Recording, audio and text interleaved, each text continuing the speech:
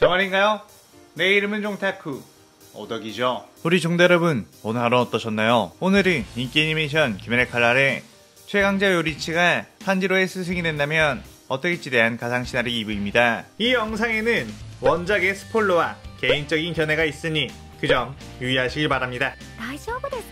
그럼 시작해볼까요?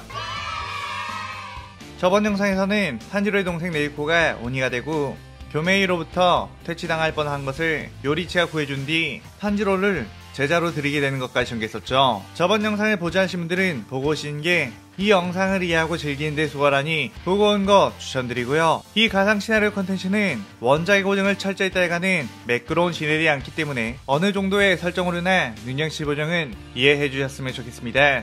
그럼 오늘의 가상 시나리오 시작하겠습니다. 낯선 곳에서 깨어난 고쿠시부 이곳은 어디지? 요리치 녀석은 뭘 하고 있었던 거지? 라고 하며 불쾌한 표정을 지었죠. 코쿠시보는 낮에 있었던 일들이 전혀 기억이 나지 않는다는 것에 역시나 그런 건가? 라며 예전 일이 생각이 났습니다. 자신의 원래 이름은 치이쿠니 미치카츠 부사 집안의 쌍둥이 중 첫째로 태어나 어린 시절부터 검을 배우며 집안의 기대를 받고 자랐죠.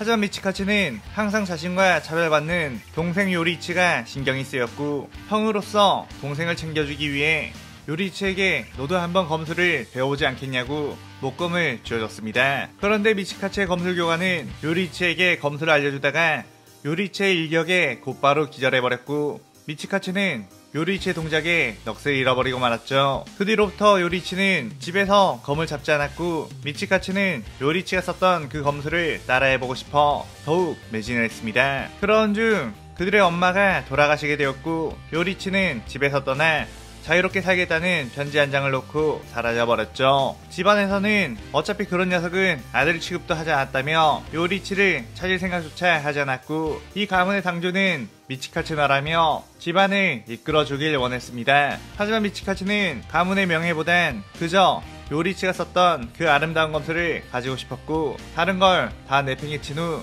검술에만 몰두했죠. 그렇게 시간이 흘러 미치카츠는 성인이 되었는데 어느 날 뒷산에 산적들이 모여있고 그 산적들이 많은 사람들을 죽였다는 이야기에 미치카츠의 아빠는 이번에 미치카츠를 데리고 공을 세워 미치카츠를 후계자로 모두에게 인정받게 하려고 했습니다. 하지만 그곳에 산적이라고 생각했던 것은 바로 오니들이었고 일륜도가 없었던 무사들은 그 오니들에게 속수무책으로 당할 수밖에 없었죠. 그 과정에서 미치카츠의 아빠 역시 오니에게 살해당했고 미치카츠만이 단련했던 검술로 어떻게든 버티고는 있었지만 결국 오니의 재생력 때문에 당할 수밖에 없다는 걸 알았습니다. 그런데 그 위기의 순간 요리치가 나타나 그 오니들을 베어버리기 시작했는데 미치카츠는 오랜만에 본 요리치의 검술은 예나 지금이나 그야말로 완벽한 검술이었고 이것이야말로 자신이 추구해야 할 목표라고 생각을 했죠. 그뒤 미치카츠는 가문과 가족들을 모두 버리고 요리치를 따라 때 검사가 되었습니다. 미치카츠는 요리치가 전수해준 전집중 호흡을 이용해 검술을 단련했지만 요리치가 사용하는 해의 호흡은 도저히 쓰지 못했고 자신은 그 움직임을 다르게 변형시켜 달의 호흡을 만들게 되었죠. 그뒤 미치카츠는 뒤늦게 발현된 검술 재능으로 인해 귀할 때의 인자 자리까지 올라가게 되었고 수많은 오이들을 퇴치해 많은 이들로 하여금 존경의 대상이 되었습니다. 하지만 미치카츠는 그런 것들은 전혀 자신에게 의미가 없었고 오로지 요리치를 따라잡는 것, 요리치만큼 아름다운 검술을 쓰는 것만이 자신의 목표가 되었죠. 그렇게 미치카츠는 어느 정도의 수준에 들어서자 요리치처럼 얼굴에 반점이 생기게 되었는데 자신뿐만 아니라 다른 주들도 반점이 생기게 되는 걸 보게 되었습니다. 그런데 그 반점이 생긴 주들은 이전보다 월등하게 강한 능력을 사용할 수 있었지만 25살이 넘기 전에 하나둘씩 이유 없는 병으로 죽게 되었죠. 미치카츠는 그것이 분명 반점에 의한 부작용이란 것을 알았고 요리치처럼 타고난 반점이 아니라면 반점을 가진 자들은 모두 허무하게 죽게 되는 것 자신 역시 조만간 그렇게 될 거라는 걸 알았습니다. 미치카츠는 아직도 자신이 반점까지 발현했지만 달의 호흡은 요리치의 해호흡에 닿지 않는다는 것에 삶에 대한 집착이 생겼고 자신의 삶을 이어나갈 수 있는 유일한 방법은 바로 오니가 되는 것 뿐이었죠. 그렇게 미치카츠는 부자를 찾아가 자신을 오니로 만들어 달라고 했고 부자는 귀할 때 검사를 해봤자 자신에게는 한 주먹거리도 되지 않는 것들이라 흥미가 없다고 했습니다.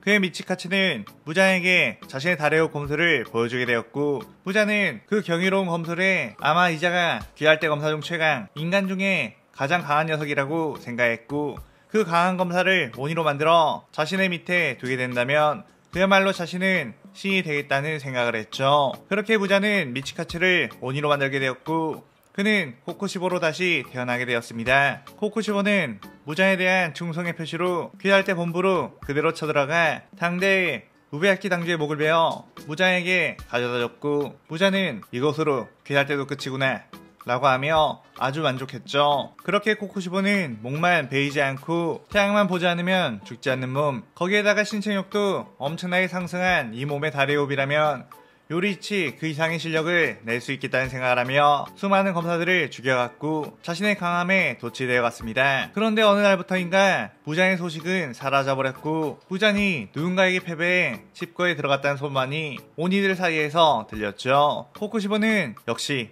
태초온이라고 해도 싸움을 못하니까 그렇지 라면서 사실 실력으로만 보면 자신 또한 부자는 이길 수 있을 거라는 생각을 하긴 했었습니다. 그렇게 코쿠시보는 끊임없이 자신의 달의 호흡을 완벽하게 구사할 때까지 수련했는데 자신이 생각했을 때 요리체 해외호흡을 뛰어넘은 수준이 되었다고 생각이 되자 수련을 멈추게 되었죠. 그런데 어느새 세월은 60년이 넘게 지나버렸고 자신의 달의 호흡이 해외호흡을 뛰어넘었는지를 시험해 보려고 해도 요리치는 80살이 넘었을 테니 지금쯤이면 죽었겠구나 라는 생각을 했습니다. 그런데 어느 날 길을 걷다가 노인이 된 모습의 요리치를 만나게 되었고 요리치는 곧바로 코쿠시보를 알아보며 눈물을 흘렸죠. 코쿠시보는 노인의 몸이 된 요리치지만 저 녀석을 내 달의 호흡으로 베어버린다면 자신을 지금껏 괴롭혔던 열등감을 없애버릴 수 있을 거라는 생각에 칼을 뽑고 달의 호흡을 시연했습니다. 요리치 역시 해호흡을 시연한 후에 그대로 뛰어왔는데 코쿠시보의 눈에는 요리치 움직임이 보이지도 않았고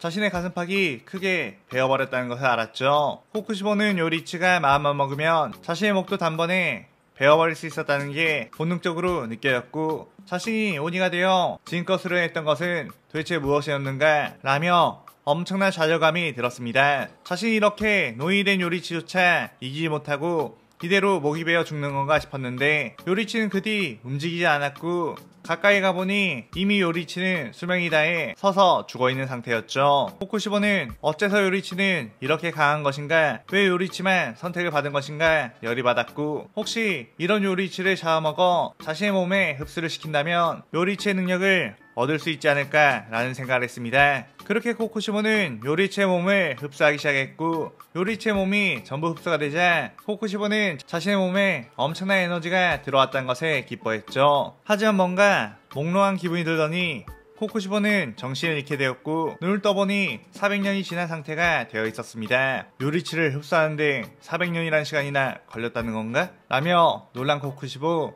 그런데 갑자기 어라? 이런 곳에 오니가 있었구나 라고 하며 피할때 검사들이 저벅저벅 걸어왔죠. 코코시버는 가만히 그들을 바라보고 있다가 그들이 코코시보를 향해 모두 덤벼들자 칼을 뽑아 그대로 그들을 하나배 모두 베어버렸습니다. 코코시보는 자신의 감각을 느끼며 씩 웃었는데 방금 전 그 검사들의 몸이 전부 투명하게 보였고 그들의 공격을 자연스럽게 읽을 수 있어 너무나도 쉽게 죽일 수 있었던 거였죠. 코쿠시보는 요리치, 이 녀석이 봤던 세계가 바로 이것이었나? 라며 드디어 자신도 요리치의 강함을 손에 얻었다며 기뻐했습니다. 그렇게 코쿠시보는 곧바로 다뤄온 이들을 찾아가게 되었 는데 지금 무장이 12개월이라는 걸 만들어 강력한 오이들에게 칭호를 부여하고 있다고 했죠. 코쿠시보는 그의 그 12개월이라는 녀석들은 어떤 녀석들인지 궁금해졌고 그 자리를 내가 뺏어버리겠다 라는 생각을 하며 그들을 찾아 나서게 되었습니다.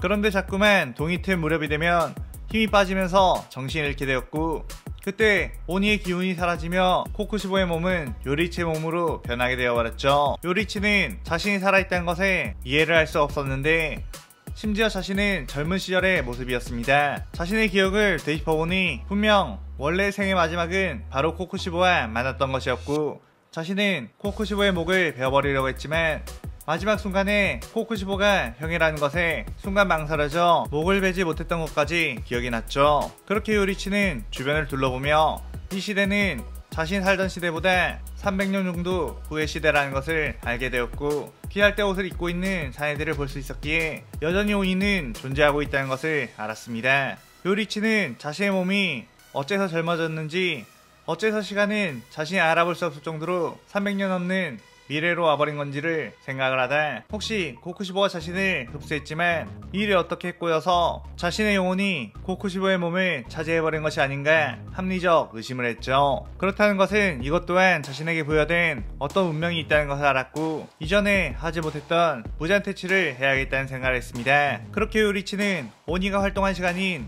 반까지 기다렸는데 해가 지자 요리치는 정신을 잃게 되었고 다시 코코시보로 변하게 되어버렸죠. 그의 코코시보 역시 요리치를 제대로 흡수하지 못했고 낮에는 요리치의 몸이 되고 밤에는 오닌 자신의 몸이 된다는 결론을 도출했습니다. 코코시보와 요리치는 서로 다른 몸이 되었을 때 어떤 일이 있었는지 기억을 할 수 없었고 코코시보는 12개월의 오니들을 주기 위해서는 빠르게 움직여 아침에 오기 전에 모든 것을 처리해야 한다고 생각을 했죠. 그리고 요리치는 자신이 아침에 깨어있는 시간이라도 해외호배 후계자를 양성해 오니들을 대체해야 한다고 생각을 했고 그렇게 카마도 가문의 후손을 찾아 나서게 된 거였습니다. 코쿠시보는 빠르게 움직여 12개월 중 더욱 상위의 강함을 가지고 있다는 오니를 찾아 나섰는데 이제 막 상륙력의 자리에 올라갔다는 비할대 출신 오니가 있다는 소식을 듣고 그가 있다는 곳에 가게 되며 이 시나리오 2부가 끝이 나게 되죠. 이번 편에서는 코쿠시보와 요리치가 한 몸에 공존하게 된 이유에 대해서 서사를 해봤어요. 마치 이중인격처럼 한 몸을 가지고 다른 목적으로 행동하는 이 둘의 이야기가 이 시나리오에서 흥미롭게 작용할 것 같네요. 오늘의 가상 시나리오에 대한 감상평 많이 남기시고 다음 시나리오 3부도 많은 기대 부탁드려요. 오늘 영상 즐겁게 보셨다면 구독, 좋아요, 알림 설정 누른 거 잊지 마시고요. 그럼 오늘 이만 사연나라. 사연나라.